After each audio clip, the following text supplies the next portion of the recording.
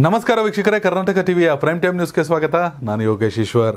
B Y ವಿಜಯೇಂದ್ರಗೆ BJP ರಾಜ್ಯಾಧ್ಯಕ್ಷ ಸ್ಥಾನ. ಚುನಾವಣಾ ರಾಜಕೀಯ ನಿವೃತ್ತಿ ನಿರ್ಧಾರದ ಬಳಿಕ ಡಿವಿಎಸ್ ಗರಂ. ಬಿಜೆಪಿ ಜೆಡಿಎಸ್ ವಿರುದ್ಧ ಡಿಕೆಶಿ ಕಿಡಿಕಾರಿದ್ದು ಯಾಕೆ ಗೊತ್ತಾ? ತೆಲಂಗಾಣದಲ್ಲಿ ಮೋದಿ ಜನ್ಮ ಜಾಲಾಡಿದ್ರ ಸಿಎಂ ಸಿದ್ದರಾಮಯ್ಯ. ಡ್ರೋನ್ ಪ್ರತಾಪ್ ತಂದೆ ನವರಸ ನಾಯಕನ ಬಗ್ಗೆ ಹೇಳಿದ್ದೇನು. ಬೆಂಗಳೂರು ಅಂಗಳದಲ್ಲಿ ಹೇಗೆ ಸಾಗಿದೆ ಟೀಂ ಇಂಡಿಯಾ ತಯಾರಿ? ಎಲ್ಲ ಸುದ್ದಿಯನ್ನು ನೋಡೋಣ. ಎಲ್ಲಕ್ಕಿಂತ ಮೊದಲು ಪ್ರೈಮ್ ಟೈಮ್ ನ್ಯೂಸ್ನಲ್ಲಿ ಅತಿ ದೊಡ್ಡ ಸುದ್ದಿ ಡಿ ವಿ ಸದಾನಂದ ಗೌಡರು ಗರಂ. ಎಸ್ ವೀಕ್ಷಕರೇ, ಇದೀಗ ಬಂದಂತ ಬ್ರೇಕಿಂಗ್ ನ್ಯೂಸ್. ಕಳೆದ ಐದು ತಿಂಗಳುಗಳಿಂದ ಆರು ತಿಂಗಳುಗಳಿಂದ ಚುನಾವಣೆ ಬಳಿಕ ಬಿಜೆಪಿಗೆ ಗುರಿ ಇಲ್ಲ, ಗುರು ಇಲ್ಲ, ರಾಜ್ಯಾಧ್ಯಕ್ಷ ಯಾರು ಬದಲಾಗ್ತಾರೆ ಗೊತ್ತಿಲ್ಲ, ವಿಪಕ್ಷ ನಾಯಕ ಯಾರು ಗೊತ್ತಿಲ್ಲ ಅನ್ನೋ ಅತಿ ಎಲ್ಲಾ ಗೊಂದಲಗಳ ನಡುವೆ ಅಲ್ಟಿಮೇಟ್ ಆಗಿ ಇಂಪ್ಯಾಕ್ಟ್ ಪ್ಲೇಯರ್ ವಿಜೇಂದ್ರ ಅವರನ್ನ ಬಿಜೆಪಿ ಹೈಕಮಾಂಡ್ ಕರ್ನಾಟಕ ಬಿಜೆಪಿಯ ರಾಜ್ಯ ಅಧ್ಯಕ್ಷರನ್ನಾಗಿ ನೇಮಕ ಮಾಡಿದೆ. ಈ ಮೂಲಕ ಬಿಜೆಪಿ ಲಿಂಗಾಯತರನ್ನ ನಿರ್ಲಕ್ಷಿಸ್ತಾ ಇದೆ. ಬಿಜೆಪಿ ಲಿಂಗಾಯತರನ್ನ ಕಡೆಗಣಿಸ್ತಾ ಇದೆ. ಯಡಿಯೂರಪ್ಪ ಅವರನ್ನ ಸರಿಯಾಗಿ ನೋಡ್ಕೊಳ್ಳಿಲ್ಲ. ಬಿ ಎಲ್ ಸಂತೋಷ್, ಸಂತೋಷ ಕೂಟದಲ್ಲಿ ಮತ್ತಷ್ಟು ವಿಕೆಟ್ಗಳು ಉರುಳುತ್ತವೆ. ಎಲ್ಲ ಆರೋಪಗಳಿಗೆ ಅಂತೆ ಕಂತೆಗಳ ಸಂತೆಗೆ ಬಿಜೆಪಿ ಹೈಕಮಾಂಡ್ ಬ್ರೇಕ್ ಅನ್ನು ಹಾಕಿದ್ದು ವಿಜೇಂದ್ರ ಅವರನ್ನ. ರಾಜ್ಯಾಧ್ಯಕ್ಷರನ್ನಾಗಿ ನೇಮಿಸಿದೆ. ವಿಜೇಂದ್ರ, ಇಲ್ಲಿವರೆಗೂ ಏನು ಮಾಡಿದ್ರು ಲೆಕ್ಕಕ್ಕಿಲ್ಲ.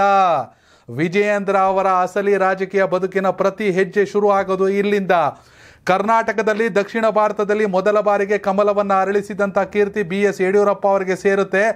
ಅವರು ಹಾಕಿಕೊಟ್ಟ ಹಾದಿಯಲ್ಲಿ ಅವರ ಪುತ್ರ ವಿಜಯೇಂದ್ರ ಕೇವಲ ಬೈ ಎಲೆಕ್ಷನ್ ಗೆಲ್ಲಿಸ್ಬಿಟ್ಟೆ ನಾನು. ಶಿಕಾರಿಪುರದಲ್ಲಿ ನಾನು ಎಂ ಎಲ್ ಎ ಆಗಿಬಿಟ್ಟೆ ಫಸ್ಟ್ ಟೈಮ್ ಅವೆಲ್ಲ ಕೌಂಟೇ ಇಲ್ಲ. ಇನ್ನು ಮೇಲೆ ವಿಜಯೇಂದ್ರ ಏನು ಮಾಡ್ತಾರೆ? ಯಡಿಯೂರಪ್ಪ ಅವರು ಆಕ್ಟಿವ್ ಆಗಿ ಇದ್ದಾಗ ಚುನಾವಣಾ ರಾಜಕೀಯದಲ್ಲಿ ಬಿಜೆಪಿ ರಾಜ್ಯಾಧ್ಯಕ್ಷ ಆದವ್ರದೆಲ್ಲ ಅದೃಷ್ಟ. ಯಾಕೆಂದ್ರೆ ಯಡಿಯೂರಪ್ಪ ಅವರ ಹೆಸರಲ್ಲಿ ಹೂವಿನ ಜೊತೆ ನಾರು ಸ್ವರ್ಗಕ್ಕೆ ಹೋಯ್ತು ಅನ್ನೋಂಗೆ ಕೆಲಸಗಳಾಗೋಗ್ತಿತ್ತು ಪಿಗೆ ಈಗ ಯಡಿಯೂರಪ್ಪ ಅವರು ಚುನಾವಣಾ ರಾಜಕೀಯದಿಂದ ಹಿಂದೆ ಸರಿದಿದ್ದಾರೆ. ಆದರೂ ಲೋಕಸಭೆಯಲ್ಲಿ ನಾನು ಎರಡು ಸಾವಿರದ ಹತ್ತೊಂಬತ್ತರಲ್ಲಿ ತಂದುಕೊಟ್ಟ ರಿಸಲ್ಟನ್ನು ತಂದುಕೊಡ್ತೀನಿ ಅನ್ನೋ ಶಪಥವನ್ನು ಮಾಡಿ ಮುನ್ನುಗ್ತಿದ್ದಾರೆ. ಇಂಥ ಸಂದರ್ಭದಲ್ಲಿ ಅವರ ಮೇಲಿನ ಜವಾಬ್ದಾರಿಯನ್ನು, ಇಡೀ ರಾಜ್ಯ ಬಿ ಜೆ ಪಿಯ ಜವಾಬ್ದಾರಿಯನ್ನು ತಮ್ಮ ಮೇಲೆ ಹೆಗಲ ಮೇಲೆ ಹೊತ್ಕೊಂಡು ವಿಜಯೇಂದ್ರ ಅವರು ಹೇಗೆ ಸಾಕ್ತಾರೆ? ಇದು ಅತಿ ದೊಡ್ಡ ಚರ್ಚಾ ವಿಷಯ. ವಿಜಯೇಂದ್ರ ಅವರ ಬದುಕಿನಲ್ಲಿ ಅತಿ ದೊಡ್ಡ ಮೈಲ್ ಸ್ಟೋನ್ ವೀಕ್ಷಕರೇ, ಖಂಡಿತವಾಗಿ ಕೂಡ ಕ್ಯಾಪ್ಟನ್ ಸರಿಯಾಗಿರಬೇಕು. ಫ್ಯೂಚರನ್ನು ನೆನಪಲ್ಲಿ ಇಟ್ಕೊಂಡು ಫ್ಯೂಚರನ್ನು ದೃಷ್ಟಿಯಲ್ಲಿ ಇಟ್ಕೊಂಡು B J P high command best ಕ್ಯಾಪ್ಟನನ್ನು ಆಯ್ಕೆ ಮಾಡಿದೆ. ಅನ್ನೋದು ಒಂದಷ್ಟು ಜನರ ವಾದ. ಆದರೆ ಒಂದಷ್ಟು ಜನ ಬೇಸರ ಆಬ್ವಿಯಸ್ಲಿ ಆಗಿರುತ್ತೆ. ಯತ್ನಾಳಿಂದ ಹಿಡಿದು ಸಿ ಟಿ ರವಿಯಿಂದ ಹಿಡಿದು, ಶೋಭಾ ಕರಂದ್ಲಾಜೆ ಹೆಸರು ಬಂದಿತ್ತು. ಹಾಗೆಯೇ ಅರವಿಂದ್ ಬೆಲ್ಲದವರ ಹೆಸರಿತ್ತು. ಇವೆಲ್ಲದರ ನಡುವೆ ಯಾಕೆಂದರೆ ಎರಡು ಸಾವಿರ ಏನರು ಧೋನಿಯನ್ನು ಟೀಮ್ ಇಂಡಿಯಾ ಕ್ಯಾಪ್ಟನ್ ಮಾಡಬೇಕು ಅಂತ ಮ್ಯಾನೇಜ್ಮೆಂಟ್ ಡಿಸೈಡ್ ಮಾಡಿದಾಗ ಎಷ್ಟು ಜನ ಉರ್ಕೊಂಡಿರಲಿಲ್ಲ. ಆದರೆ ರಿಸಲ್ಟ್ ಎರಡು ಸಾವಿರದ ಹನ್ನೊಂದರ ವಿಶ್ವಕಪ್. ಆದರೆ ರಿಸಲ್ಟ್ ಎರಡು ಸಾವಿರದ ಏಳರ ಟಿ ಟ್ವೆಂಟಿ ವಿಶ್ವಕಪ್. ರಿಸಲ್ಟ್ ಎರಡು ಸಾವಿರದ ಹದಿಮೂರರ I C C champions trophy S ಹೀಗಾಗಿ ಕೇವಲ ಬಿ ಜೆ ಪಿಯ ಭವಿಷ್ಯವನ್ನು ಮಾತ್ರ ದೃಷ್ಟಿಯಲ್ಲಿ ಇಟ್ಕೊಂಡು B J P high command J P Nadda ಅವರು ಈ ಕ್ಷಣದಿಂದ, ತತ್ಕ್ಷಣದಿಂದ with immediate effect B Y Vijayendra ಅವರನ್ನ ರಾಜ್ಯಾಧ್ಯಕ್ಷರನ್ನಾಗಿ ನೇಮಕ ಮಾಡಿದೆ. ಎಸ್, ಇದ್ರ ಬಗ್ಗೆ ನಿಮ್ಮ ಅಭಿಪ್ರಾಯನ ಕೂಡ ಕಾಮೆಂಟ್ ಮಾಡಿ. ಚುನಾವಣಾ ರಾಜಕೀಯಕ್ಕೆ ನಿವೃತ್ತಿ ಘೋಷಣೆ ಮಾಡಿರುವ ಬೆಂಗಳೂರು ಉತ್ತರ ಲೋಕಸಭಾ ಕ್ಷೇತ್ರದ ಸಂಸದ ಡಿ ವಿ ಸದಾನಂದ ಗೌಡ ಅವರು ಅದರ ಬೆನ್ನಿಗೆ ವರಿಷ್ಠರ ಮೇಲೆ ಫುಲ್ ಗರಂ ಆಗಿದ್ದಾರೆ. ಆದರೆ ಅವರು ಗರಂ ಆಗಿರೋದು ತಮಗೆ ಮುಂದಿನ ಚುನಾವಣೆಯಲ್ಲಿ ಸ್ಪರ್ಧೆಗೆ ಅವಕಾಶ ಸಿಗ್ತಾ ಇಲ್ಲ ಅನ್ನೋದಕ್ಕಲ್ಲ, ಬದಲಾಗಿ ರಾಜ್ಯ ಬಿಜೆಪಿಯನ್ನ ಕಡೆಗಣಿಸಿರುತ್ತಿರೋದಕ್ಕಾಗಿ. ಈ ಕುರಿತು ಮಾತನಾಡಿದ ಅವರು, ತಮ್ಮ ನಿವೃತ್ತಿ ಘೋಷಣೆಯ ಕುರಿತು ಸಮಗ್ರ ಮಾಹಿತಿಯನ್ನು ಹಂಚಿಕೊಂಡ್ರು. ಅದೇ ವೇಳೆ ವರಿಷ್ಠರು ರಾಜ್ಯ ನಾಯಕತ್ವವನ್ನು ಕಡೆಗಣನೆ ಮಾಡುತ್ತಿರೋ ಬಗ್ಗೆ ಆಕ್ಷೇಪ ವ್ಯಕ್ತಪಡಿಸಿದರು. ವಿಧಾನಸಭಾ ಚುನಾವಣೆಯಲ್ಲಿ ಸೋಲು ಕಂಡಿದೆ ಎಂಬ ಕಾರಣಕ್ಕೆ ಪಕ್ಷದ ರಾಜ್ಯ ಘಟಕವನ್ನು ಕಡೆಗಣಿಸಿರುವುದು ಸರಿಯಲ್ಲ. ಪಕ್ಷದ ರಾಜ್ಯಾಧ್ಯಕ್ಷ ಮತ್ತು ವಿಪಕ್ಷ ನಾಯಕನ ನೇಮಕ ಮಾಡಲು ತಡ ಮಾಡ್ತಿರೋದು ಸರಿಯಲ್ಲ ಎಂದು ಹೇಳಿದ್ರು. ಈ ವಿಚಾರದಲ್ಲಿ ಬಹಿರಂಗವಾಗಿ ಅಸಮಾಧಾನ ವ್ಯಕ್ತಪಡಿಸಿದ ಸದಾನಂದ ಗೌಡರು ಲೋಕಸಭಾ ಚುನಾವಣೆ ದೃಷ್ಟಿಯಿಂದ ಇದು ಒಳ್ಳೆಯ ಬೆಳವಣಿಗೆ ಅಲ್ಲ. ವರಿಷ್ಠರ ಮೊದಲು ರಾಜ್ಯ ನಾಯಕತ್ವದ ಮೇಲೆ ವಿಶ್ವಾಸ ಇಡಬೇಕು. ವಿಧಾನಸಭಾ ಚುನಾವಣೆಯಲ್ಲಿ ನಾವು ಸೋತಿರಬಹುದು ಲೋಕಸಭಾ ಚುನಾವಣೆಯಲ್ಲಿ ನಿಮಗೆ ಡಬಲ್ ಕೊಡ್ತೀವಿ ಎಂದು ಸದಾನಂದ ಗೌಡರು ಹೇಳಿದ್ದಾರೆ. ಈ ಮೂಲಕ ವರಿಷ್ಠರಿಗೆ ಗುದ್ದು ನೀಡಿದ್ದಾರೆ. ನಾನು ಚುನಾವಣಾ ರಾಜಕೀಯದಿಂದ ನಿವೃತ್ತ ಘೋಷಣೆ ಮಾಡಿದ್ದು ನನ್ನ ಸ್ವಂತ ನಿರ್ಧಾರ. ನನಗೆ ಮುಂದಿನ ಚುನಾವಣೆಗೆ ಟಿಕೆಟ್ ಕೊಡುವುದಿಲ್ಲ. ಹಾಗಾಗಿ ಹಿಂದೆ ಸರಿದಿದ್ದೇನೆ. ಹೈಕಮಾಂಡ್ ನಾಯಕರ ಸೂಚನೆ ಮೇರೆಗೆ ನಿವೃತ್ತಿ ಘೋಷಿಸ್ತೇನೆ ಎನ್ನುವುದೆಲ್ಲವೂ ಸುಳ್ಳು. ನನಗೆ ಯಾವುದೇ ನಾಯಕರು ಯಾ ಈ ಬಗ್ಗೆ ಹೇಳಿಲ್ಲ. ಇದುವರೆಗೆ ಬೆಂಗಳೂರು ಉತ್ತರ ಕ್ಷೇತ್ರದ ಅಭಿವೃದ್ಧಿಗಾಗಿ ಅಭಿವೃದ್ಧಿ ಬಗ್ಗೆ ಸಣ್ಣ ಚರ್ಚೆಯೂ ನಡೆದಿಲ್ಲ. ಈ ಹಂತದಲ್ಲಿ ನಾನು ತೆಗೆದುಕೊಂಡಿರೋದು ನನ್ನದೇ ನಿರ್ಧಾರ ಅಂತ ಹೇಳಿದ್ರು. ಎಸ್, ಸದಾನಂದ ಗೌಡರು ಚುನಾವಣಾ ರಾಜಕೀಯದಿಂದ ನಿವೃತ್ತಿ ಘೋಷಿಸಿದ ಬಳಿಕ ಮತ್ತು ಘೋಷಿಸುವ ಮೊದಲು ಕೂಡ, ಯಾರು ಅನ್ಕೊಂಡಿರಲಿಲ್ಲ, ಎಲೆಕ್ಷನ್ಗೆ ಅವರಾಗೆ ರಾಜೀನಾಮೆ ಕೊಡ್ತಾರೆ ಅಥವಾ ನಿವೃತ್ತಿ ಘೋಷಿಸ್ತಾರೆ ಅಂತ. ಅದಕ್ಕೆ ಮೊದಲು ಕೂಡ ಅವರು ಕೆರಳಿದ್ದು ಹೈಕಮಾಂಡ್ ವಿರುದ್ಧ. ಸೋಲಿನ ಬಳಿಕ ಸಾಂತ್ವನ ಹೇಳುವ ಕೆಲಸ ರಾಜ್ಯ ಬಿ ಜೆ ಪಿ ಮೇಲೆ ನಾಯಕರಿಂದ ಆಗಲಿಲ್ಲ, ವರಿಷ್ಠರಿಂದ ಆಗಲಿಲ್ಲ ಅಂತ. ಇದೇ ಕಾರಣಕ್ಕೆ ಹೈಕಮಾಂಡ್ ಅವ್ರ ಮೇಲೆ ಗರಂ ಆಗ್ಬಿಟ್ಟು ಅವ್ರನ್ನ ಡೆಲ್ಲಿ ಕಲ್ಸು, ಕರೆಸಿದ್ರು ಜೆ ಪಿ ನಡ್ಡಾ. ಪಾಪ ಮೂರು ದಿನ ಸದಾನಂದ ಗೌಡರು ಡೆಲ್ಲಿಲಿದ್ದರು ಅವ್ರನ್ನ ಭೇಟಿಯಾಗುವ ಕನಿಷ್ಠ ಸೌಜನ್ಯವನ್ನು ತೋರಲಿಲ್ಲ. ಬದಲಾಗಿ ನಾವು ಪಂಚರಾಜ್ಯ ಚುನಾವಣೆಯಲ್ಲಿ ಬ್ಯುಸಿ ಇದ್ದೀವಿ ಅಂತ. ನೀವು ಪಂಚರಾಜ್ಯ ಚುನಾವಣೆಯಲ್ಲಿ ಬ್ಯುಸಿ ಇದ್ಮೇಲೆ ಏನು ಗೆಣಸ್ಕೀಳಕ್ಕೆ ಕರೆಸಿದ್ರಿ? ಒಬ್ಬ ಮಾಜಿ ಮುಖ್ಯಮಂತ್ರಿಯನ್ನು ನೀವು ಪಕ್ಷದಲ್ಲಿ ಇದ್ದಾಗ ಹೇಗೆ ನಡೆಸ್ಕೊಳ್ತೀರಾ ಅನ್ನೋದಕ್ಕೆ ಇದು ಉದಾಹರಣೆ. ಇದಕ್ಕೆ ಜಗದೀಶ್ ಶೆಟ್ಟರು ಪಾಪ ಚುನಾವಣೆ ಟೈಮಲ್ಲಿ ಕಾಂಗ್ರೆಸ್ಸಿಗೆ ಬಂದಿದ್ದು. ಸದಾನಂದ ಗೌಡರು ನಿಮ್ಮ ಜೊತೆ ನಾನು ಮಾತಾಡಬೇಕು, ನನ್ನ ಡೆಲ್ಲಿ ಕರ್ಸ್ಕೊಳ್ಳಿ ಅಂತ ಏನು ಕಾಯ್ಕೊಂಡಿದ್ರಾ ಪಾಪ? ಅಥವಾ ಏನಾದ್ರು ಕೇಳ್ಕೊಂಡಿದ್ರಾ? ಇಲ್ಲ. ಕೇಂದ್ರದಲ್ಲಿ ಏಳು ವರ್ಷ ಮೋದಿ ಜೊತೆಗೆ ಸಂಪುಟದಲ್ಲಿ ಇದ್ದವರು, ಕರ್ನಾಟಕದ ಮುಖ್ಯಮಂತ್ರಿ ಆಗಿದ್ದವರು, ಸಂಸದರಾಗಿದ್ದವರು, ಶಾಸಕರಾಗಿದ್ದವರು, ಹೆಂಗ್ರೆ ನಡೆಸ್ಕೋಬೇಕು ಅವ್ರನ್ನ ಪಾಪ ಸದಾನಂದ ಗೌಡರು, ಸ್ಮೈಲ್ ಗೌಡ್ರು ಅಂತೀವಿ, ಮಾತೆತ್ತರ ನಗಾಡ್ತಾ ಇರ್ತಾರೆ, ಅವ್ರಿಗೂ ನೋವಿದೆ. ಅವ್ರ ಮನ್ಸ್ಗೂ ನೋವಾಗುತ್ತೆ, ಅವರು ಮನುಷ್ಯ, ಅವ್ರಿಗೂ ಬೇಸರ ಆಗುತ್ತೆ ಅನ್ನೋದಕ್ಕೆ ಇದು ಉದಾಹರಣೆ. ಚುನಾವಣೆ ಹೊಸ್ತಿಲಲ್ಲಿ ಟಿಕೆಟ್ ಕೊಡಲಿಲ್ಲ ಅಂತ ಬೇಸರ ಮಾಡಿ ದೊಡ್ಡ ಕಾಂಟ್ರವರ್ಸಿ ಮಾಡ್ಕೊಳ್ಳೋಕ್ಕಿಂತ ಇದು ಎಷ್ಟೋ ಮೇಲು ಅವ್ರು ತೆಗೆದುಕೊಂಡಿರುವಂಥ ನಿರ್ಧಾರ. ಯಾಕಂದರೆ ಈ ನಿರ್ಧಾರ ಅವರೊಬ್ಬರಿಗೆ ಎಲ್ಲ ಇನ್ನೂ ಸಾಕಷ್ಟು ಜನ ಕಾಯ್ಕೊಂಡೈತೆ. ಹೀಗಾಗಿ ಸದಾನಂದ ಗೌಡರು ಒಂದು ರೀತಿ ಹಿಟ್ ವಿಕೆಟ್ ಮಾಡ್ಕೊಂಡ್ರು ಪಾಪ. ಏಕೆ? ಪಕ್ಷಕ್ಕೆ ನಾನು ಇಷ್ಟೆಲ್ಲ ಮಾಡಿದ್ರೂ ಪರವಾಗಿಲ್ಲ, ಬೇರೆಯವ್ರು ಆಟ ಆಡಲಿ. ಸಾಕು ನಾನು ಆಟ ಆಡಿದ್ದು. ಪಕ್ಷ ನಂಗೆ ಏನು ಬೇಕೆಲ್ಲ ಕೊಟ್ಟಿದೆ ಅಂತ, ಆದರೆ ಪಕ್ಷ ನಡೆಸ್ಕೊಂಡಿದ್ದ ರೀತಿ ಅವ್ರಿಗೆ ಖುಷಿ ಇಲ್ಲ. ಮತ್ತೊಂದು ಕಡೆ ಚುನಾವಣೆ ಸೋತ ಮೇಲೆ ಎಷ್ಟು ನೀಟಾಗಿ ಸಾಂತ್ವನ ಹೇಳ್ಬೋದಿತ್ತು ರೀ ಮೋದಿ ಬಂದ್ಬಿಟ್ಟು. ಮೋದಿ ಬರದೇ ಬೇಕಾಗಿಲ್ಲ, ಯಡಿಯೂರಪ್ಪನವ್ರನ್ನು ಬೊಮ್ಮಾಯಿ ಅವ್ರನ್ನೂ ಇನ್ನೊಂದಷ್ಟು ಜನ ರಾಜ್ಯಾಧ್ಯಕ್ಷರು ಇನ್ನೊಂದಷ್ಟು ಜನ ಕರ್ಸ್ಕೊಬಿಟ್ಟು ಡೋಂಟ್ ವರಿ ಗೆಲುವಿನ ಕ್ರೆಡಿಟ್ ನಿಮಗಿರಲಿ. ಸೋಲಿನ ಎಲ್ಲ ಬೇಸರ ಮನಸ್ತಾಪಗಳು ನನಗಿರಲಿ. ನಾನು ಸೋಲಿನ ಹೊಣೆ ಹೊತ್ಕೋತೀನಿ. ಹೋಗಿ ಎಲ್ಲರೂ ಲೋಕಸಭೆಗೆ ಸಿದ್ಧರಾಗಿ ಅಂತ ಹೇಳ್ಬೋದಿತ್ತಲ್ರಿ? ಎರಡು ಸಾವಿರದ ಹತ್ತೊಂಬತ್ತರಲ್ಲೂ ಬಿ ಜೆ ಪಿ ಲೋಕಸಭಾ ಚುನಾವಣೆಯಲ್ಲಿ ಇಪ್ಪತ್ತೈದು ಸೀಟ್ ಗೆದ್ದಾಗ ಬಿ ಜೆ ಪಿ ಸರ್ಕಾರ ಏನು ಇರಲಿಲ್ಲ. ಜೆ ಡಿ ಎಸ್, ಕಾಂಗ್ರೆಸ್ ಸಮ್ಮಿಶ್ರ ಸರ್ಕಾರ ಇದ್ದಿದ್ದು. ಅಷ್ಟಾದ್ರೂ ಬಿ ಜೆ ಪಿಗೆ ಬರಲೇ ಇಲ್ವಾ?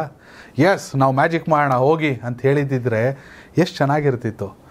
ಮೋದಿ ನಾಯಕತ್ವವನ್ನು ಎಲ್ಲ ಒಪ್ಕೊತಿದ್ರು ಪಾಸ್ ಆದರೆ ಮಾತ್ರ ಮಕ್ಕಳಲ್ಲ ಫೇಲ್ ಆದವರು ಮಕ್ಕಳೇ ಅಂತ ಪೋಷಕರು ಅವ್ರನ್ನ ತಿದ್ದಿ ಬುದ್ಧಿ ಹೇಳಿದಾಗ ನೆಕ್ಸ್ಟ್ ಎಕ್ಸಾಮ್ ಸರಿಯಾಗಿ ತಗೊಳ್ಳೋದು ಹೆಂಗೆ ಮಾಡಿಬಿಟ್ರೆ ಯಾರೂ ಒಪ್ಕೊಳ್ಳಲ್ಲ ಸದಾನಂದ ಗೌಡರು ಕೂಡ ಅದೇ ಬೇಸರದಿಂದ ಹೈಕಮಾಂಡ್ ವಿರುದ್ಧ ಗರಂ ಆಗಿದ್ದಾರೆ. ಸರಿಯಾಗಿ ನಡೆಸ್ಕೊಳ್ಳಿಲ್ಲ ಎಲೆಕ್ಷನ್ ನಂತರ ಅಂತ. ಎಸ್ಸಿನ ಮುಂದಿನ ಸುದ್ದಿ, ರಾಜ್ಯದ ಇನ್ನೂರಕ್ಕೂ ಹೆಚ್ಚು ತಾಲೂಕು ಬರಕ್ಕೆ ಸಿಲುಕಿದ್ದು, ಬರ ಪರಿಹಾರ ಹಾಗೂ ನರೇಗಾ ಉದ್ಯೋಗ ದಿನಗಳ ಹೆಚ್ಚಳ. ವಿಚಾರದಲ್ಲಿ ಬಿಜೆಪಿ, ಜೆಡಿಎಸ್ ನಾಯಕರು ಕೇಂದ್ರದ ಮೇಲೆ ಒತ್ತಡ ತಂದು ತಮ್ಮ ಬದ್ಧತೆ ಪ್ರದರ್ಶಿಸಲಿ ಎಂದು ಡಿಸಿಎಂ ಡಿ ಕೆ ಶಿವಕುಮಾರ್ ಸವಾಲ್ ಹಾಕಿದ್ದಾರೆ.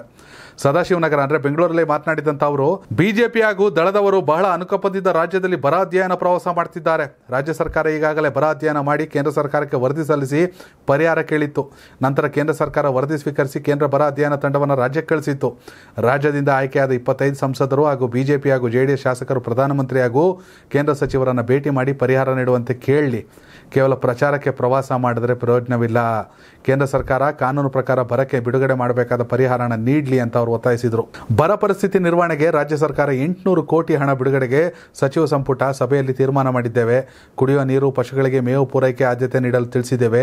ರಾಜ್ಯದಲ್ಲಿ ಇನ್ನೂರಕ್ಕೂ ಹೆಚ್ಚು ತಾಲೂಕುಗಳು ಬರಕ್ಕೆ ಸಿಲುಕಿರುವ ಹಿನ್ನೆಲೆಯಲ್ಲಿ ಮುಖ್ಯಮಂತ್ರಿ ಹಾಗೂ ಕಂದಾಯ ಸಚಿವರು ನರೇಗಾ ಯೋಜನೆಯ ಮೂಲಕ ಸೀಮಿತ ಇರುವ ಉದ್ಯೋಗ ದಿನವನ್ನು ನೂರರಿಂದ ನೂರೈವತ್ತು ದಿನಕ್ಕೆ ವಿಸ್ತರಣೆ ಮಾಡಲು ಪ್ರಸ್ತಾಪ ಇಟ್ಟಿದ್ದು, ಕೇಂದ್ರ ಸರ್ಕಾರ ಇನ್ನೂ ತೀರ್ಮಾನ ಮಾಡಿಲ್ಲ ಎಂದು ಅವರು ವಿವರಿಸಿದರು. ನಾವು ಕೇಂದ್ರದ ಬಳಿ ಭಿಕ್ಷೆ ಬೇಡ್ತಾ ಇಲ್ಲ. ಕಾನೂನು ಪ್ರಕಾರ ಬರ ಪರಿಸ್ಥಿತಿ ಇದ್ದಾಗ ನರೇಗಾ ಯೋಜನೆಯಡಿ ನೀಡುವ ಉದ್ಯೋಗ ದಿನಗಳನ್ನು ನೂರೈವತ್ತು ದಿನಗಳಿಗೆ ಹೆಚ್ಚಳ ಮಾಡಬೇಕು. ಈ ಉದ್ಯೋಗ ದಿನ ಹೆಚ್ಚಳ ಮಾಡಲಾಗದಿದ್ದರೆ ಕೇಂದ್ರ ಸರ್ಕಾರ ಅದನ್ನು ಸ್ಪಷ್ಟವಾಗಿ ತಿಳಿಸಲಿ, ಆ ಕೆಲಸವನ್ನು ರಾಜ್ಯ ಸರ್ಕಾರ ಮಾಡಲಿ ಅಂತ ಅವ್ರು ತಿಳಿಸಿದ್ರು. ಏನು ಬಿ ಜೆ ಪಿಯವರು ಬರ ಅಧ್ಯಯನ ಮಾಡ್ತಾವ್ರಲ್ಲ ರಾಜ್ಯ ಸುತ್ಕೊಂಡು ಸರಿ ಮಾಡಿ, ಸಂತೋಷ ಹೋಗ್ಬಿಟ್ಟು ಕೇಂದ್ರ ಕೇಳಿ, ಕರ್ನಾಟಕದಲ್ಲಿ ಹಿಂಗೆ ಬರ ಇದೆ ಅಂತ ನಾವೇನೋ ಮೋದಿಯವ್ರಿಗೆ ಆಗಲ್ಲ ನಮ್ಮ ಕಾಂಗ್ರೆಸ್ ಪಕ್ಷ. ನೀವು ಬಿ ಜೆ ಪಿಯವರು ನೀವು ಅವ್ರ ಅಣ್ಣ ತಮ್ಮದಿರೇ ತಾನೇ?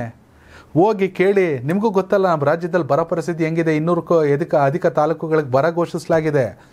ಎಲ್ಲ ಕೇಂದ್ರದಿಂದ ಅಧ್ಯಯನ ತಂಡ ಬಂದಾಯಿತು, ವರದಿ ಕೊಟ್ಟಾಯಿತು, ನಾವು ಕೇಳಾಯಿತು, ಬೇಡಿಕೆ ಇಟ್ಟಾಯಿತು, ಕೊಟ್ಟಿಲ್ಲ. ಅದು ಬಿಟ್ಬಿಟ್ಟು ಬಿ ಜೆ ಪಿಯವ್ರು ಬರ್ತಾರೆ, ಮಾತೆತ್ತರು ಮೋದಿ ಬೈತಾರೆ, ಮೋದಿ ಬಂತು, ಇನ್ಯಾರಿಗೆ ಬೈಯೋದು? ರಾಜ ಅಂದಮೇಲೆ ರಾಜ್ಯನ ಸರಿಯಾಗಿ ನಡೆಸ್ಕೊಳ್ಳಿಲ್ಲ ರಾಜಂಗೆ ಬೈಬೇಕು. ಗ್ಯಾರಂಟಿ ಯೋಜನೆಗೆ ಕೇಳ್ಕೊಂಡಾಗ ಅಧಿಕಾರಿಗಳು ಫಸ್ಟ್ ಒಪ್ಕೊಂಡ್ರಂತೆ ಐದು ಕೆ ಜಿಗೆ ಮತ್ತೆ ಬೇಡ ಅಂದ್ರಂತೆ ಮೋದಿ. ಹೋಗಿ ಕೇಂದ್ರ ಆಹಾರ ಸಚಿವರನ್ನು ಭೇಟಿಯಾದ್ರೂ ಮುನಿಯಪ್ಪ ಅವ್ರು ಏನು ಕೊಟ್ಟರು ಉತ್ತರ? ಇಲ್ಲ ಇಲ್ಲ, ನಾವು ಕೊಡೋಕ್ಕಾಗಲ್ಲ. ದುಡ್ಡು ಕೊಡ್ತೀವಿ ಟ್ರಾನ್ಸ್ಪೋರ್ಟ್ ಚಾರ್ಜ್ ಕೊಡ್ತೀವಿ. ಏನಾದ್ರು ಕೇಂದ್ರ ಅಕ್ಕಿ ಕೊಡ್ತಾನೆ ಇಲ್ವಲ್ಲ? ಏನು ಹೆಚ್ಚುವರಿ ಐದು ಕೆ ಜಿ ಹಣ ಕೊಡ್ತೀವಿ ಅಂದ್ರೂ ಈ ರಾಜ್ಯದಲ್ಲಿ ಇಟ್ಟರು ಅದನ್ನೂ ಯಾರೂ ತಗೊಳ್ಳಿಲ್ಲ? ಈ ರೀತಿ ಮಲತಾಯಿ ಧೋರಣೆ ಸರಿಯಲ್ಲ ಅನ್ನೋದು ಡಿ ಕೆ ಶಿವಕುಮಾರ್ ಅವರ ಆಕ್ರೋಶ.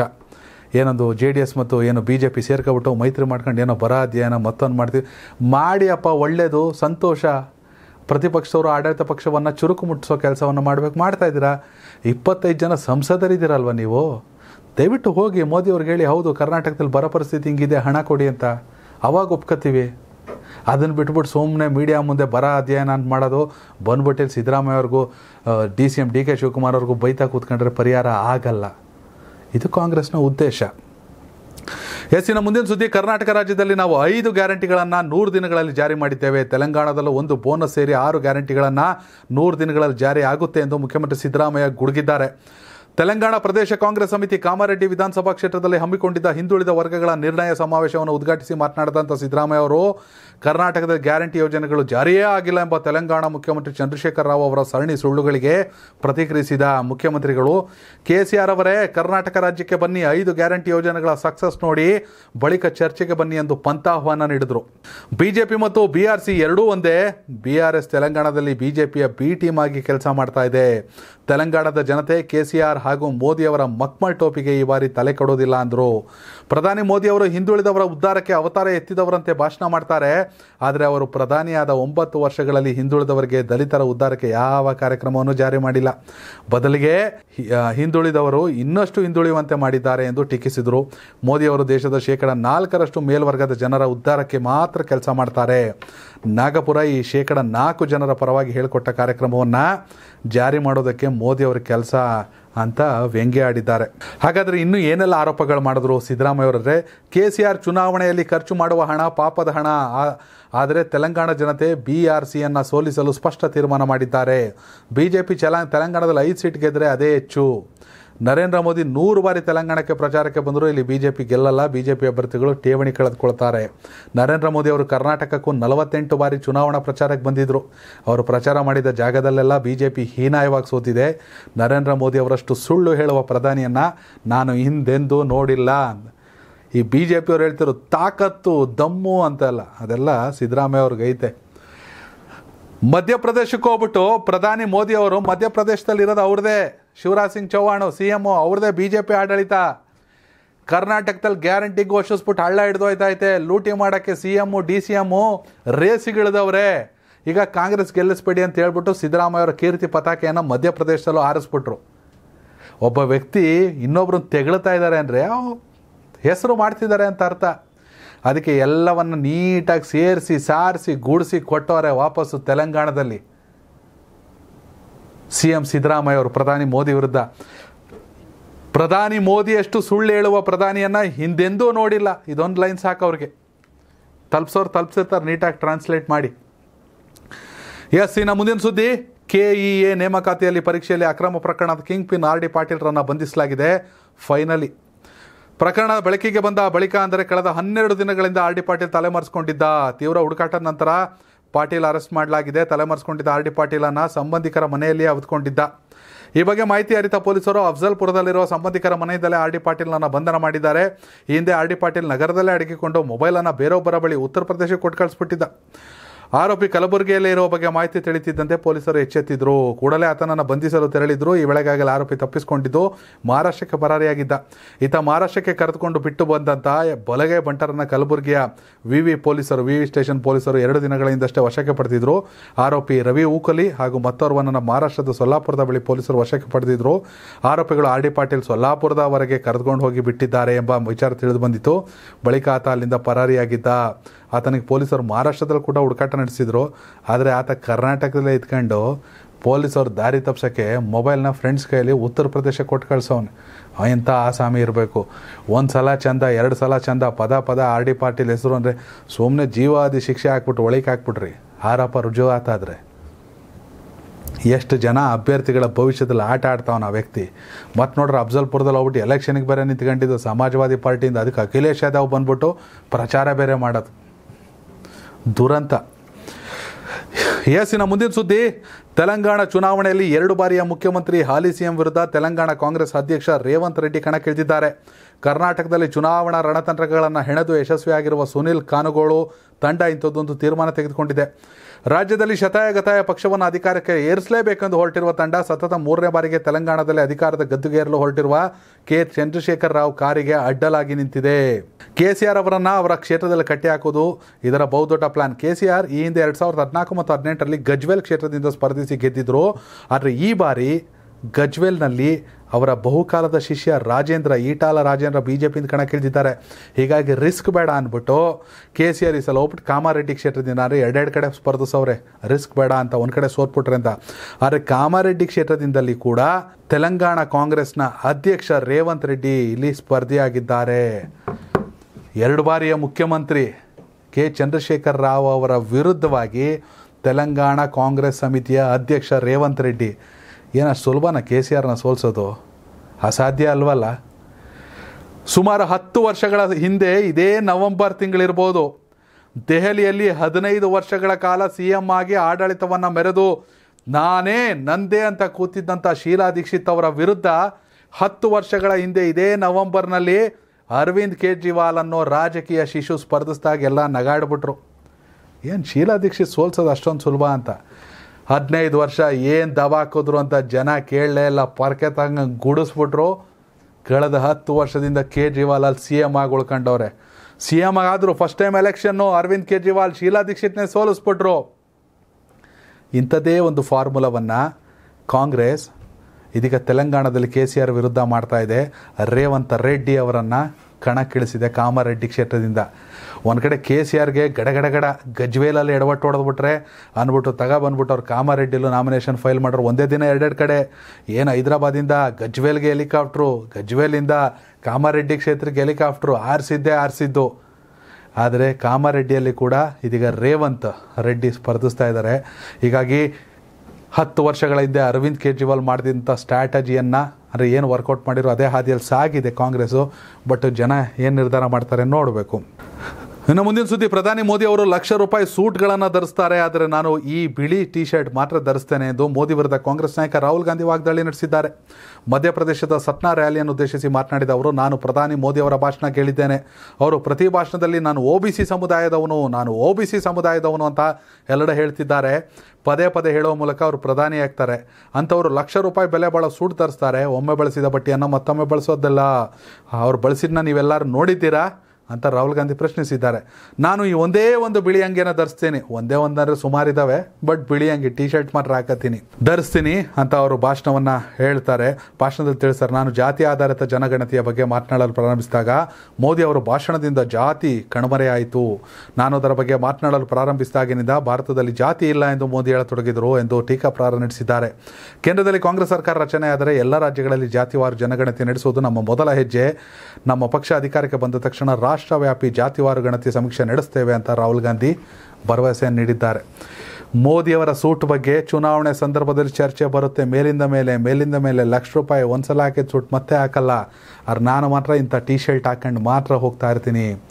ರಾಹುಲ್ ಗಾಂಧಿ ಭಾರತ್ ಜೋಡೋ ಯಾತ್ರೆ ಮಾಡಿದಾಗ ಗೊತ್ತಾಯ್ತು ಅವರ ಸರಳತೆ ಮತ್ತು ಅವರ ಪಕ್ವತೆ ಎಷ್ಟು ಮಟ್ಟಿಗೆ ಜನರನ್ನು ತಲುಪ್ತಿದೆ ಅನ್ನೋದು, ಬಟ್ ಚುನಾವಣೆ, ದೇಶ, ಜನ ಡಿಸೈಡ್ ಮಾಡಬೇಕು. ಕರ್ನಾಟಕದಲ್ಲಿ ಇದೇ ಕಾನ್ಫಿಡೆನ್ಸಲ್ಲಿ ಬಿ ಜೆ ಪಿಯವರಿದ್ದರು ಬಟ್ ಹೋಯಿತು.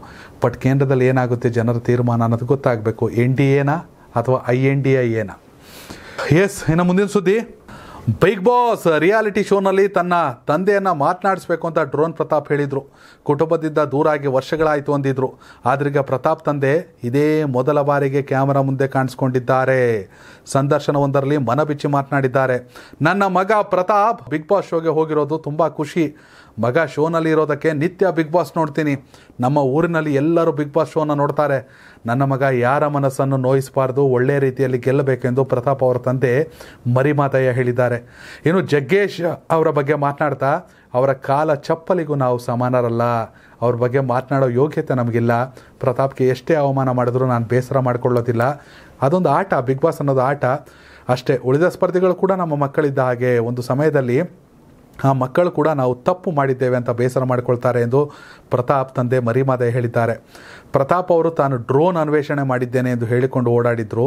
ಆರಂಭದಲ್ಲಿ ಕಾಮಿಡಿ ಕಿಲಾಡಿಗಳು ರಿಯಾಲಿಟಿ ಶೋನಲ್ಲಿ ಪ್ರತಾಪ್ ಅವರ ಸಾಧನೆ ಬಗ್ಗೆ ಜಗ್ಗೇಶ್ ಅವರು ಹೊಗಳಿದ್ರು. ಅನಂತರದಲ್ಲಿ ಪ್ರತಾಪ್ ಅವರು ಮಾಡಿರೋದು ಮೋಸ ಅಂತ ಗೊತ್ತಾಗಿದೆ. ಆಮೇಲೆ ಜಗ್ಗೇಶ್ ಅವರು ಪ್ರತಾಪ್ರನ್ನು ನಂಬಲು ರೆಡಿ ಇಲ್ಲ ಎಂದು ಕಾಮೆಂಟ್ ಮಾಡಿರೋ ಪೋಸ್ಟ್ಗಳು ಸೋಷಿಯಲ್ ಮೀಡಿಯಾದಲ್ಲಿ ವೈರಲ್ ಆಗಿತ್ತು. ಆಗ ಜಗ್ಗೇಶ್ ಅವರು, ನಾನು ಯಾವುದೇ ಕಾಮೆಂಟ್ ಮಾಡಲ್ಲ ಅಂತ ಪ್ರತಿಕ್ರಿಯೆಯನ್ನು ಕೂಡ ನೀಡಿದರು. ಅಲ್ಲದೆ ಪ್ರತಾಪ್ ಅವರ ಯಶಸ್ಸು ಎಷ್ಟಿತ್ತೋ ಗೊತ್ತಿಲ್ಲ. ನಿಜನೋ ಸುಳ್ಳೋ, ಅದ್ರ ಬಗ್ಗೆ ಯಾರು ಕಂಪ್ಲೇಂಟ್ ಕೊಟ್ಟರೋ ತನಿಖೆ ಆಯಿತೋ ಗೊತ್ತಿಲ್ಲ. ಬಟ್ ಆತ ವಿದೇಶಕ್ಕೆ ಹೋಗಿದ್ದ, ಏನೋ ಡ್ರೋನ್ನಲ್ಲಿ ಏನೋ ಮಾಡ್ತೀನಿ ಅಂತ ಹೊರಟಿದ್ದ. ಆದರೆ ಆತನಿಗೆ ಮಾಧ್ಯಮಗಳು ಕೊಟ್ಟಂಥ ಬಿಲ್ಡಪ್ಪು, ಹೈಪು, ಎಲ್ಲವೂ ಪೀಕ್ ಹೊರಟೋಗ್ಬಿಡ್ತು. ಜಗ್ಗೇಶ್ ಅವರು ಅವ್ರನ್ನ ಇನ್ನೆಲ್ಲೋ ತಗೊಂಡೋಗಿ ನಿಲ್ಲಿಸ್ಬಿಟ್ರು ಆದರೆ ಎಲ್ಲವೂ ಫೇಕ್ ಅಂತ ಗೊತ್ತಾಗ, ಅದು ಎಷ್ಟರ ಮಟ್ಟಿಗೆ ಡೌನ್ಫಾಲ್ ಆಗ್ತಿತ್ತೋ ಗೊತ್ತಿಲ್ಲ. ಜಗದೀಶ್, ಜಗ್ಗೇಶ್ ಅವರ ಬೈಟಿಂದಲೇ ಅವರು ಫುಲ್ ಡೌನ್ಫಾಲ್ ಆಗಿ ಮಾನಸಿಕ ಒಂಥರ ಏನಂತಾರೆ ಮಾನಸಿಕ ಸಮ್ ಇದನ್ನ ಕಳ್ಕೊಂಬಿಟ್ರು, ಸಮತೋಲನವನ್ನು. ಅಂಥ ಸಂದರ್ಭದಲ್ಲಿ ಕೂಡ ಜಗ್ಗೇಶ್ ಅವರು, ನಾವು ಅವ್ರ ಚಪ್ಪಲಿಗೂ ಸಮ ಇಲ್ಲ ರೀ, ಅವ್ರ ಬಗ್ಗೆ ನಾವೇನು ಮಾತಾಡೋದು? ಅವ್ರು ನನ್ನ ಮಗ ಆಡ್ತಿದ್ದಾನೆ, ನಂಗೆ ಖುಷಿ ಆಗ್ತಿದೆ ಅವನಿದ್ದು ಯಾರಿಗೂ ನೋವಾಗಬಾರ್ದು ಅಂತ ತಂದೆ ಮರಿಮಾದೆ ಹೇಳ್ತಾರಲ್ಲ. ಪಾಪ ಮಗನ ಜೊತೆ ಮಾತಾಡಿ ಎಷ್ಟು ವರ್ಷ ಆಗಿದ್ಯೋ, ಮಗನಿಗೆ ಏನು ನೋವಿದ್ಯೋ ತಂದೆ ತಾಯಿಗೂ ಅದು ಇದ್ದೇ ಇರುತ್ತೆ. ಅವನು ತಾರಾ ಅವ್ರ ಜೊತೆ ಅವರು ಎಂಟ್ರಿ ಕೊಟ್ಟಾಗ ಮದ್, ಅಂದರೆ ಹತ್ಕೊಂಡು ಹೇಳಿದ, ತಾಯಿ ಜೊತೆ ಮಾತಾಡ್ದಂಗೆ, ನನಗೂ ಮದುವೆ ವಯಸ್ಸಿನ ತಂಗಿ ಇದ್ದಾಳೆ, ಮೇಡಮ್, ಏನು ಮಾಡಬೇಕು ಗೊತ್ತಾಗ್ತಿಲ್ಲ ಅಂತ. ಬಟ್ಟು ಬಿಗ್ ಬಾಸ್ ಮನೆ ಒಳಗೆ ರಿಯಲ್ ಪ್ರತಾಪನ ದರ್ಶನ ಆಗ್ತಾ ಇದೆ. ರಿಯಲ್ ಡ್ರೋನ್ ಟೇಕ್ ಆಫ್ ಆಗ್ತಾ ಇದೆ. ಸತ್ಯ ಮತ್ತು ಮಿಥ್ಯ ಓಕೆ ಅಲ್ಲಿರೋರು ಪ್ರತಾಪ್ಗಿಂತ ಒಳ್ಳೆಯವರೋ, ಕೆಟ್ಟವರೋ ಸೆಕೆಂಡ್ರಿ ಜನ ಡಿಸೈಡ್ ಮಾಡ್ತಾರೆ. ಬಟ್ ಪ್ರತಾಪ್ ರಿಯಲ್ ಅನ್ನೋದು ಒಂದಷ್ಟು ವ್ಯಕ್ತಿತ್ವವಾಗಿ ಡ್ರೋನ್ ಆಗಿ ಅಲ್ಲ. ಡ್ರೋನ್ ವಿಚಾರ ಹೇಳ್ತಿಲ್ಲ. ವ್ಯಕ್ತಿತ್ವವಾಗಿ ಆತ ಫೇಕ್ ಇಲ್ಲ ಅನ್ನೋದು ಒಂದಷ್ಟು ಗೊತ್ತಾಗ್ತಾ ಇದೆ. ಹೀಗಾಗಿ ಅವ್ರ ತಂದೆ ಕೂಡ ಹೆಮ್ಮೆಯಿಂದ ಮಾತಾಡಿದ್ದಾರೆ ಇಲ್ಲ ಅಂದರೆ ತಂದೆ ಮಾತಾಡ್ತಾ ಇರಲಿಲ್ಲ. ಮಗನ ಜೊತೆನೇ ಮಾತಾಡ್ದಿರೋರು ಮಗ ಆಡೋ ಶೋ ಬಗ್ಗೆ ಯಾಕೆ ಮಾತಾಡ್ತಾರೆ?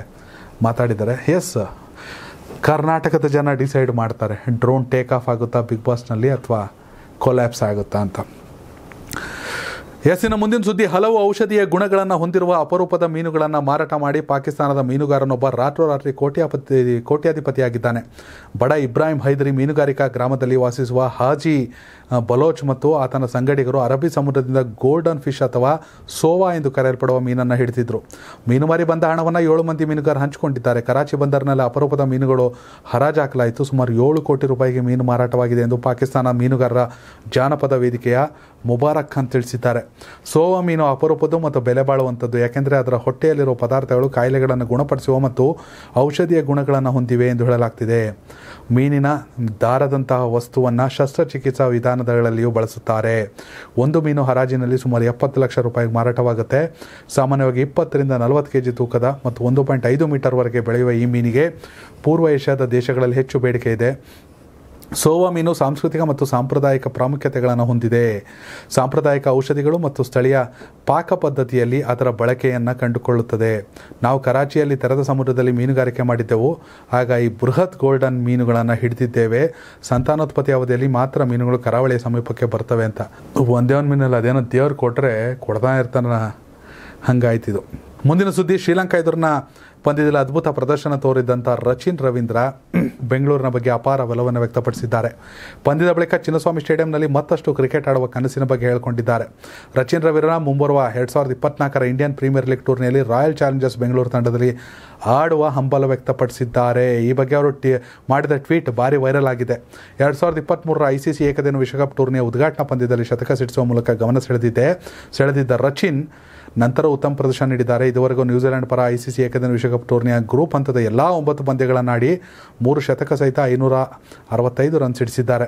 ಟ್ವಿಟರ್ನಲ್ಲಿ Rachin, Ravindra, hello R C B fans ಎಂದು ಬರೆದುಕೊಂಡು ಆರ್ ಸಿ ಬಿಯಲ್ಲಿ ಆಡುವ ಇಂಗಿತವನ್ನು ಈ ರೀತಿ ವ್ಯಕ್ತಪಡಿಸಿದ್ದಾರೆ. ಬೆಂಗಳೂರು ಮೂಲದವರೇ, ಅವ್ರ ತಂದೆ ಇಲ್ಲೇ ಇದ್ದವರು, ಅವ್ರ ತಾತ ಈಗಲೂ ಇಲ್ಲೇ ಮಲ್ಲೇಶ್ವರಮಲ್ಲೇ ಅವರೇ. ರಚಿನ್, ರವೀಂದ್ರ ಹುಟ್ಟಿದ್ದು ಬೆಳೆದಿದ್ದು ನ್ಯೂಜಿಲೆಂಡ್ನಲ್ಲಿ. ರಾ ಅಂದರೆ ರಾಹುಲ್ ದ್ರಾವಿಡು, ಚಿನ್ ಅಂದರೆ ಸಚಿನ್ನು ಆ ಎರಡೂ ಹೆಸರನ್ನು ಸೇರಿ ಅವ್ರ ತಂದೆ ಇಟ್ಟಂಥ ಹೆಸರು ರಚಿನ್ ರವೀಂದ್ರ. ವಿಶ್ವಕಪ್ನಲ್ಲಿ ಅತಿ ದೊಡ್ಡ ಪ್ರದರ್ಶನ. ಹಾಂ ಯಾಕಂದರೆ ಎರಡು ಸಾವಿರದ ಹತ್ತೊಂಬತ್ತರ ವಿಶ್ವಕಪ್ಪನ್ನು ಯಾವುದೋ ಪಬ್ಬಲ್ಲಿ ಕೂತ್ಕೊಂಡು ಸುಮ್ಮನೆ ನೋಡ್ತಿದ್ದಂತೆ ಒಬ್ಬ ಹುಡುಗ. ಆದರೆ ಅದ್ರ ಮುಂದಿನ ವಿಶ್ವಕಪ್ನಲ್ಲಿ ನಾನೇ ನ್ಯೂಜಿಲೆಂಡ್ ತಂಡದ ಸ್ಟಾರ್ ಆಲ್ರೌಂಡರ್ ಆಗ್ತೀನಿ ಅಂತ ಅವರು ಅಂದ್ಕೊಂಡಿರಲಿಲ್ಲ ಬಟ್ ಪರಿಶ್ರಮ, ಅದೃಷ್ಟಕ್ಕೆ ಯಶಸ್ಸು ಸಿಗುತ್ತೆ ಪ್ರತಿಫಲ ಅನ್ನೋದಕ್ಕೆ ಇದು ಉದಾಹರಣೆ. ಆರ್ ಸಿ ಬಿ ಪರವಾಗಿ ಆಡಲಿ, ನಮಗೆ ಖುಷಿ ಅಲ್ವಾ? ಕನ್ನಡಿಗರಾಗಿ ನಾವು ಖುಷಿ ಪಡಬೇಕಷ್ಟೇ ಎಸ್ ಇನ್ ಮುಂದಿನ ಸುದ್ದಿ, ಚಿನ್ನಸ್ವಾಮಿ ಅಂಗಳದಲ್ಲಿ ಟೀಮ್ ಇಂಡಿಯಾದ ಪ್ರಾಕ್ಟೀಸ್ ಸೆಷನ್ ಭರ್ಜರಿಯಾಗಿ ಸಾಗಿದೆ. ಆಡಿರುವ ಎಂಟರಲ್ಲಿ ಎಂಟು ಪಂದ್ಯಗಳನ್ನು ಗೆದ್ದಿರುವ ಭಾರತ ತಂಡ ಲೀಗ್ ಹಂತದ ಕೊನೆಯ ಪಂದ್ಯವನ್ನು ಬೆಂಗಳೂರಿನ ಚಿನ್ನಸ್ವಾಮಿ ಅಂಗಳದಲ್ಲಿ ಇದೇ ಭಾನುವಾರ, ಅಂದರೆ ಹನ್ನೆರಡನೇ ತಾರೀಕು, ಡಚ್ಚರ ವಿರುದ್ಧ ನೆದರ್ಲ್ಯಾಂಡ್ಸ್ ವಿರುದ್ಧ ಆಡುತ್ತೆ. ಟೀಮ್ ಇಂಡಿಯಾ ತಕ್ಕ ನೆದರ್ಲ್ಯಾಂಡ್ಸ್ ಮೇಲೆ ಸೋತು ಬಿಡಲಿ ಅಂತ.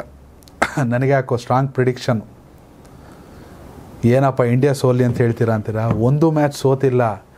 ಮತ್ತೆ ಎರಡು ಸಾವಿರದ ಹತ್ತೊಂಬತ್ತರ ಅದೇ ಕಹಿ ನೆನಪು ನ್ಯೂಜಿಲೆಂಡ್ ವಿರುದ್ಧ ಏನಾರು ಆಗ್ಬಿಡುತ್ತಾ ಅನ್ನೋ ಭಯ ಅಷ್ಟೇ ಇನ್ನೇನು ಅಲ್ಲ. ಈ ಎರಡು ಸಾವಿರದ ಹತ್ತೊಂಬತ್ತರ ಸೆಮಿಫೈನಲಲ್ಲಿ ಕೂಡ ಮಳೆ ಬಂದ್ಬಿಟ್ಟು ಎರಡನೇ ದಿನ ನಡೆದಂಥ ಮ್ಯಾಚ್ ಧೋನಿ ರನ್ಔಟ್ ಆಗಿ ನಾವು ಮರೆಯೋಂಗಿಲ್ಲ ನ್ಯೂಜಿಲೆಂಡ್ ಮೇಲೆ. ಇಂಡಿಯಾ ಸೋತ್ಬಿಡ್ತು ರೋಹಿತ್ ಶರ್ಮಾ ಹಿಂಗೆ. ಬಾಲ್ಕನಿಯಲ್ಲಿ ನಿಂತ್ಕೊಂಡಿದ್ರಲ್ಲ. ಆ ಸೀನ್ ಆಗಬಾರ್ದು. ಒಂದು ಮ್ಯಾಚ್ ಸೋತ್ಬಿಟ್ರೆ ಅತಗೆ ಏ, ಗೆಲ್ಲೇಬೇಕು ಅನ್ನೋ ಛಲ ಬರುತ್ತೆ. ಆಯಿತಾ? ಹೀಗಾಗಿ ಯಾಕೆಂದರೆ ಪಾಕಿಸ್ತಾನ ಮತ್ತು ಆಫ್ಘಾನಿಸ್ತಾನ ಯಾವ ಕಾರಣಕ್ಕೂ ಬರಲ್ಲ. ಅದೆಲ್ಲ ಅತಿ ಮ್ಯಾಕ್ಸ್ವೆಲ್ ಮಾಡಿದ್ರಲ್ಲ, ಅದಕ್ಕಿಂತ ಅತಿ ದೊಡ್ಡ ಮ್ಯಾಜಿಕ್ ಮಾಡಬೇಕು, ಅವೆಲ್ಲ ಆಗಲ್ಲ. ಹೀಗಾಗಿ ಇಲ್ಲ ಬೇಡ ನೆದರ್ಲ್ಯಾಂಡ್ ಮೇಲೆ ಗೆಲ್ಲಿ ಅಂತೀರಾ? ಸರಿ, ಗೆಲ್ಲಿ ಬಿಡಿ, ಅದು ಆಗಲಿ. ನಮ್ಮನ್ನ ನೆದರ್ಲ್ಯಾಂಡ್ ಮೇಲೆ ಗೆದ್ರೇನು, ಸೋತ್ರೇನು, ಆದರೆ ಸೆಮೀಸ್ನಲ್ಲಂತೂ ಸೋಲ್ಬಾರ್ದು ಭಾರತ. ನೆದರ್ಲ್ಯಾಂಡ್ಸ್ ವಿರುದ್ಧ ಬೆಂಗಳೂರಲ್ಲಿ ಇದೆ. ನಮ್ಮ ಬೆಂಗಳೂರಿನಲ್ಲೇ ಪ್ರಾಕ್ಟೀಸ್ ಸೆಷನ್ ಜೋರಾಗಿ ಸಾಗಿದೆ. ಕರ್ನಾಟಕ ಟಿ ವಿ ಕ್ಯಾಮರಾ ಕಣ್ಣಿಗೆ ಕೂಡ ಒಂದಷ್ಟು ವಿಜುವಲ್ ಸಿಕ್ಕಿದೆ. ಕೆ ಎಲ್ ರಾಹುಲ್, ಜಸ್ಪ್ರೀತ್ ಬುಮ್ರಾ ದೃಶ್ಯಗಳಲ್ಲಿ ನೋಡ್ತಾ ಇರ್ಬೋದು. ಹಾಗೆಯೇ ಶಾರ್ದೂಲ್ ಠಾಕೂರು, ರಾಹುಲ್ ದ್ರಾವಿಡ್ ಎಲ್ಲರೂ ಕೂಡ ರಾಹುಲ್ ದ್ರಾವಿಡ್ ಮಾರ್ಗದರ್ಶನದಲ್ಲಿ ಪ್ರಾಕ್ಟೀಸನ್ನು ನಡೆಸಿದ್ದಾರೆ. ಟೀಮ್ ಇಂಡಿಯಾ ಹೇಗಿರಬೇಕು? ಪ್ರಸಿದ್ಧ ಕೃಷ್ಣ ಆಡಬೇಕಂತ ನಮ್ಮ ಅಭಿಪ್ರಾಯ. ಕರ್ನಾಟಕ ಟಿ ವಿ ಅಥವಾ ಕನ್ನಡಿಗರ ಅಭಿಪ್ರಾಯ? ಆ, ಆಡಲಿ ಬಿಡ್ರಿ. ರಾಹುಲೇ ಕ್ಯಾಪ್ಟನ್ ಆಗಲಿ, ರೋಹಿತ್ ಕುಂತ್ಕೊಳ್ಳಿ. ವಿರಾಟ್ ಕೊಹ್ಲಿ ಆಡಲಿ, ಯಾಕಂದರೆ ಐವತ್ತನೇ ಸೆಂಚುರಿ ಹೊಡೆದ್ರೆ ಹೊಡಿಲಿ ನೆದರ್ಲ್ಯಾಂಡ್ಸ್ ಮೇಲೆ. ಟೀಮ್ ಇಂಡಿಯಾ ಹೇಗಿರಬೇಕು? ಭಾನುವಾರದ ನೆದರ್ಲ್ಯಾಂಡ್ಸ್ ವಿರುದ್ಧದ ಪಂದ್ಯಕ್ಕೆ. ನಿಮ್ಮ ಅಭಿಪ್ರಾಯನ ಕಾಮೆಂಟ್ ಮಾಡಿ. ಎಸ್ ವೀಕ್ಷಕರ, ಇದು ಇವತ್ತಿನ ಪ್ರೈಮ್ ಟೈಮ್ ನ್ಯೂಸ್ ಧನ್ಯವಾದಗಳು. ಕರ್ನಾಟಕ ಟಿ ವಿ ಕನ್ನಡಿಗರ ಧ್ವನಿ.